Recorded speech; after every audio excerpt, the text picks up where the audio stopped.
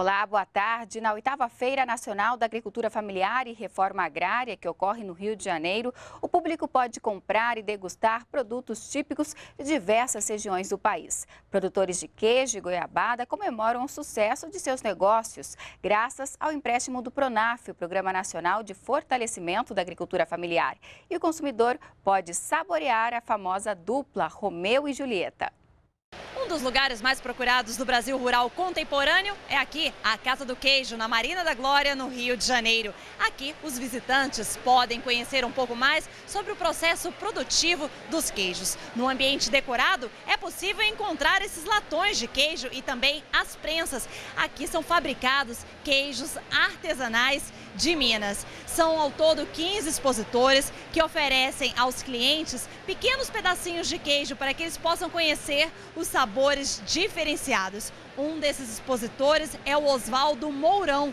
Ele é do sudoeste de Minas Gerais. E então, você há cerca de seis anos tomou um empréstimo no Pronaf e com isso conseguiu comprar cerca de 20 vacas? 20 vacas. E como isso mudou a sua produção? Com essas 20 vacas que eu comprei, a produção foi aumentando, eu fui conseguindo comprar mais. E hoje, graças a Deus, já vai. Você produz em média quantas peças por dia, por mês? Uma média de 50 peças por dia. Vai dar 1.500 peças, mais ou menos, por mês. E a sua empresa faz parte de uma associação da região do Cerro. Do Cerro, que é a Ampax. E são quantos municípios nessa região? São 10 municípios. São vários associados fabricantes de queijo. De queijo Minas Artesanal. Fala um pouquinho do seu produto. Ó, é um queijo com já já está com indicação geográfica, já está saindo. É um queijo de fabricado de leite cru e já tem as características do, do lugar propícios por causa de altitude, vegetação. E é acha, Oswaldo, que uma feira como essa tem ajudado a promover o seu produto? Sim, e a divulgação também, né, trouxe, do nosso produto. Trouxe quantas peças, quantos quilos para cá? Média de 300 quilos, 300 peças. E espera voltar sem nada?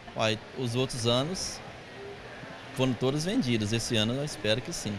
Muito Também. obrigada pela entrevista. E queijo combina com o quê? Com goiabada. Aqui na Feira Nacional da Agricultura Familiar e Reforma Agrária tem uma especial. Aqui são 300 quilos que foram produzidos por você, Felipe, né? Felipe, você é de que região aqui no Rio de Janeiro? Eu sou de Cachoeira de Macacu, interior do Rio de Janeiro. E você produziu esse, essa goiabada em quanto tempo? Ah, em 5 horas. Produzi essa 300 quilos de goiabada. Foram cerca de 250 goiabas? 250 quilos de goiaba, 260 quilos de goiaba. Sim, agora fala pra gente, o que, que o público tá esperando? É para comer isso aqui antes de domingo? Isso, sábado eu vou tirar ela para dar degustação e vender aquilo pro pessoal. E a intenção de fazer essa goiabada para essa feira, porque é um evento que foi feito no Rio de Janeiro, eu que sou morador do, do estado do Rio, e do interior de Cachoeira de Macacu, quis fazer mais uma, mais uma novidade para, para o evento, né?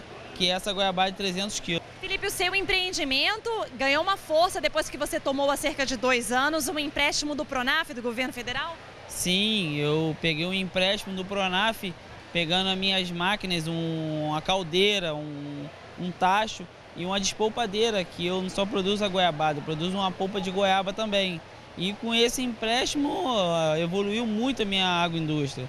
Ah, o produto ficou com qualidade, é tudo de inox, tudo limpinho. Felipe, você vai ter quanto tempo para pagar esse empréstimo? Eu vou ter. É um ano de carência, a gente tem no máximo oito anos de carência para pagar esse empréstimo. E os juros, como é que você classifica? Sim, é um juro ótimo. Para produtor rural não tem coisa melhor, são 2% ao ano para você pagar.